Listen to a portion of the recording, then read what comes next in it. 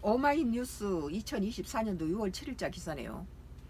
어, 그가 조국 대표에게 실망한 이유라는 기사입니다. 어, 1987년 체제와 대한민국 국가 주제로 논의한 새 학자라는 기사인데요. 에, 제9차 개헌의 결과물인 1987년 체제를 바꾸자는 지금의 개헌론은 두 유형의 개헌론 중에 나쁜 쪽에 가깝다. 지금 개헌하고 있는 이게 나쁘다는 거예요. 1948년 정부 수립 이후 연, 역대 개헌 중에 1960년대 제3차 및 제4차 개헌과 1987년대 제9차 개헌은 시민혁명을 반영한 반면에 나머지 여섯은 그렇지 않았다. 정권자들이 자기 필요에 의해서 막 법을 바꾸는 거하고 또 시민들의 혁명을 반영하는 것들은 민주주의고 국민의 의견이 예, 관여돼 있는 개입돼 있는 것들이겠죠. 이 세 차례 개헌에는 대중의사가 비교적 많이 반영됐다. 4.19 혁명 직후에 제3차 때는 이승만 장기 정권에 대한 반발로 내각 책임제 개헌이 이루어졌다. 1960년대 6월 15일의 내각제 개헌은 예, 보수 정당인 민주당의 이해관계를 반영한 것이기도 하지만 독재자 치하에 못살겠다 갈아보자를 외친 대주적 정서에 부합하는 것이기도 했다. 그해 11월 29일 제4차 개헌은 3.15 부정선거 주무자들과 4.19 시대 살상자들에 대한 처벌을 만드는 것이었다. 이건 이제 공, 공산당적인 거죠. 민주주의를 이제 반역하는 거죠. 이 역시 4.19 시위대의 입장을 상당히 부분 반영했다. 6월 항쟁 직후 제9차 개헌은 박정희 전두환 독재를 가능케 한 대통령 간선제에 대한 반성에 입각했다. 이는 6월 항쟁의 최대 구호를 반영한 개헌이었다. 국민들의 의사를 반영되는 그런 개헌 이야 됐는데 또 반대로 이제 어, 정권을 잡는 자들이 자기 편리하도록 개헌을 바꾸는 이런 것들이 있다 이제. 이 세 개헌이 완벽했다고 할 수는 없지만 국민들의 의사와 동떨어진 나머지 여섯 개헌보다는 낫다. 이승만 집권을 위한 제1차, 2차 개헌, 박정희 집권을 위한 5차, 6차, 7차 개헌, 전두환 체제를 위한 8차 개헌보다는 분명히 낫다.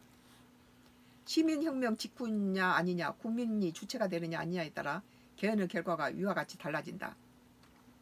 촛불혁명으로부터 8년이 지난 뒤 대중반 정치권 중심으로 전개된 지금 개헌론이 나쁜 쪽에 속한다.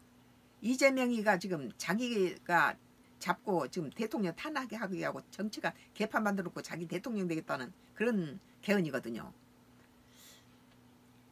이게 지금은 개헌론이 나쁜 쪽에 속한다는 말은 결코 과하지 않을 것이다.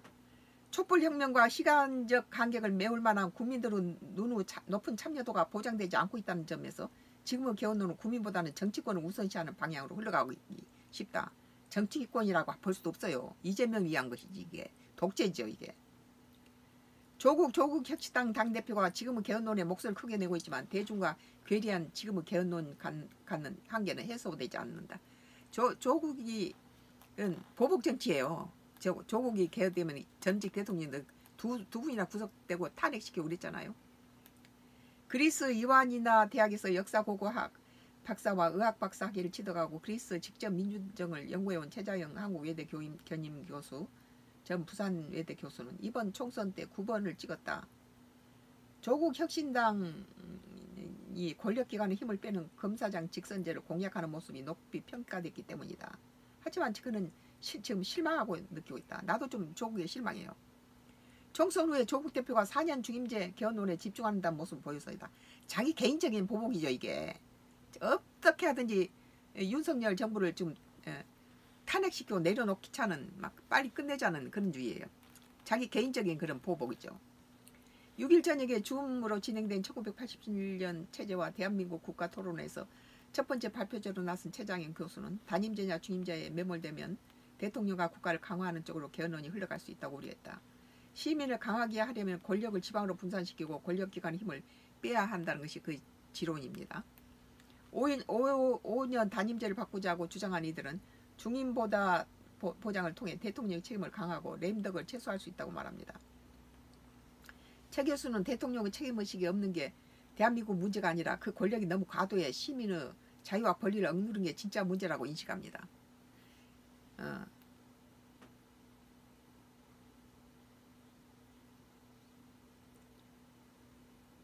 어, 참 극우 세력의 사이에 끼치는 해악 중 하나가 김 교수 거론하는 것은 사유 억압이다.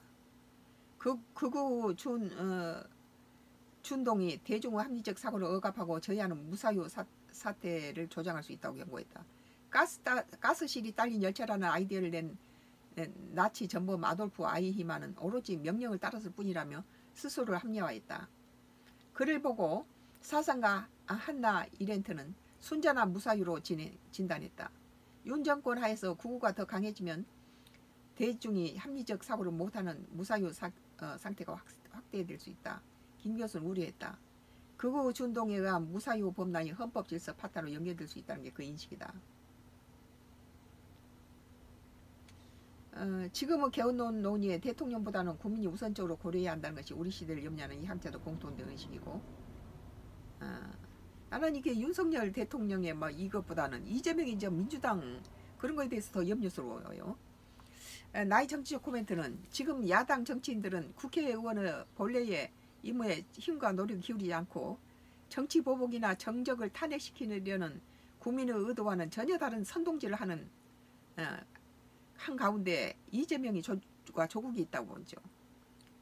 이들은 보복 정치에 그 자기 자신의 육신의 안위를 위해서 어, 어, 자기를 어, 구속하려는 자를 태거 어, 제거시키려는 그런 목적이 있죠.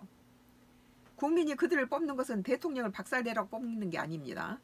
사사로운 개인적 보복이나 의도를 접어두고 국익을 위해서 성실하게 일할 때 국민은 이들을 높이 평가할 것입니다. 이들이 주장하는 당헌 개정은 보면 예전보다 보다 후퇴하고 한 개인에 치중된 개, 개헌임을 알 수 있습니다. 어, 보통 심각한 일이 아니다. 에, 당이 개인의 것이냐 칼을 휘두르고 독재를 사용하는 민주주의가 자멸하고 있는 민주당의 힘이 국민은 연, 염려스럽다고 보죠. 오마이뉴스 2024년도 6월 7일자 기사 어, 그가 조국에 대해서 실망한 이유라는 기사에 대해서 나의 정치적 코멘트를 했습니다.